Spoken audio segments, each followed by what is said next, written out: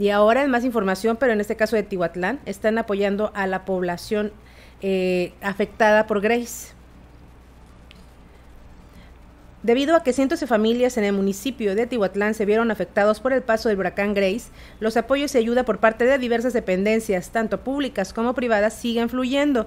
Esto con la finalidad de reactivar la economía local y ayudar a las personas. Ante esta situación, la Cruz Roja Nacional hizo la entrega de kits de limpieza para, las, para quienes resultaron damnificados en la zona de Totolapa y localidades aledañas, acción que se efectuó en coordinación con el Departamento de Bomberos en la zona conurbada y Protección Civil Municipal.